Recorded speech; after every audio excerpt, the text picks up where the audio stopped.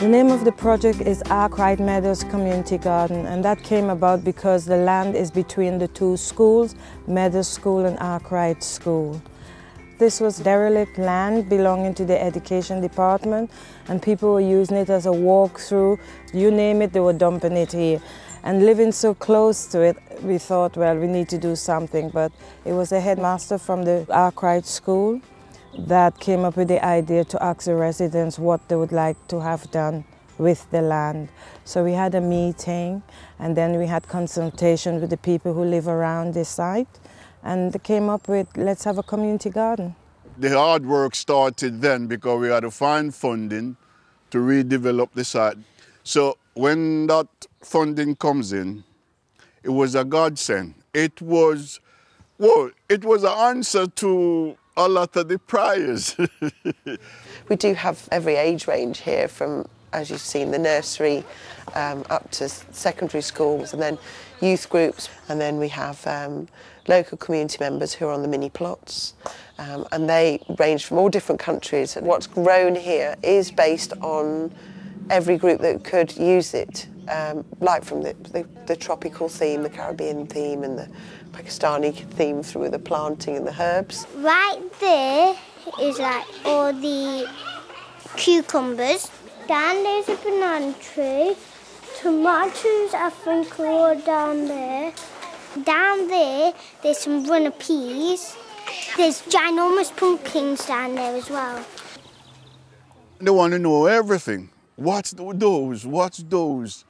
I says, the tomato. Nah, it can't be tomato. They don't like that. They, they're in the box or they're, you know, you have the tomato sauce. I says, all right, come pick one. And they pick it, tried it, get one bite, and they're amazed. And you look on the face of not only shock, but it's true.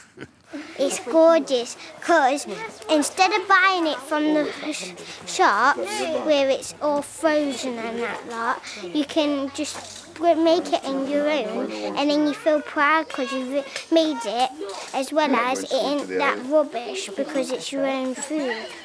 We've had children who nagged their parents to buy little uh, greenhouses to, to grow their own tomatoes in. So they've got these little plastic greenhouses in their backyards and uh, they tell us each week what they've, what they've done to their plants and what have you. I've actually learned not to hurt plants because they're living things and you should respect them because they are gorgeous and nice and they keep you alive so they're really helping you. Um, getting money from the Big Lottery Fund was really good for us for the next five years. We can now build our building blocks to become self-sufficient and um, as the money we've asked for tails off, we're going to make our own money, be able to pay our own way, which is what we want to. It's a dragon flying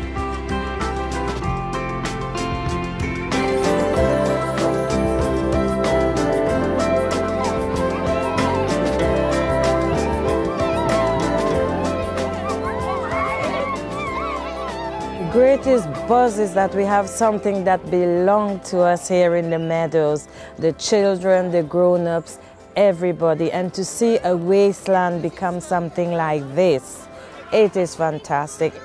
You see some children have just completely changed and they've got a focus. We've got children who, who live for Gardening Club, who live to, to come over and find out what's happening. I'm sure that they'll never forget and take, take their, our memory with them wherever they go, really.